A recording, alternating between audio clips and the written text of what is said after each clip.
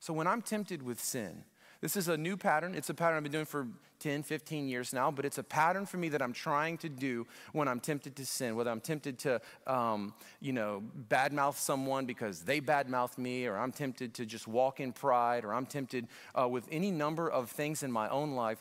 I think to myself, Lord, help me.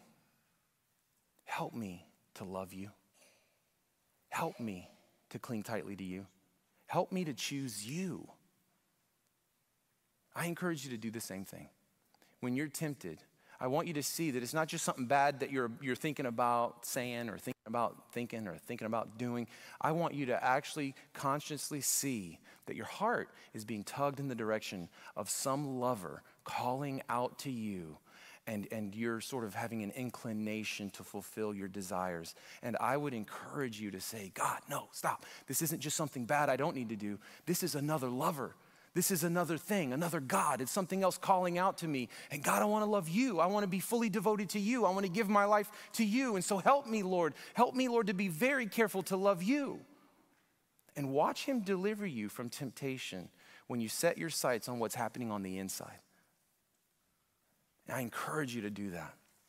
Well, it angered the Lord. And wouldn't it anger you if someone cheated on you? Wouldn't it anger you if you had made a covenant and then someone broke it? Is this just sort of like, uh, you know, it, it's not just that, that, he's, that he's angry um, because he's God and we're humans and we're all supposed to do what he says. It's a jealous lover's rage. So I see God here and I see his anger. What I see is hurt and I see betrayal.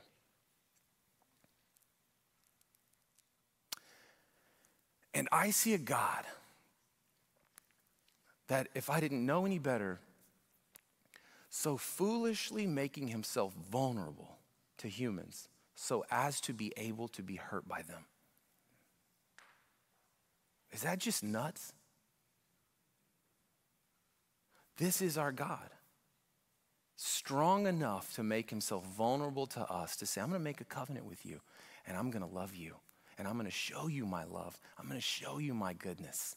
And all I want really is for a life devoted to me. And together, we're going to cultivate. Together, we're going to flourish.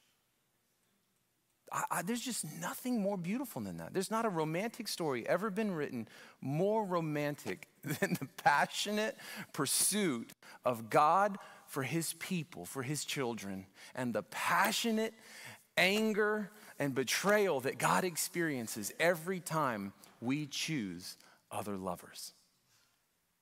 Don't do it, church. I feel like Joshua at the end of his life, too. Don't turn away from the one who loves you. See his love. Repent. Turn from the things that are destroying you, from the things that are getting in the way of your relationship with God and getting in the way of your relationship with others, and follow Him wholeheartedly. It's so good.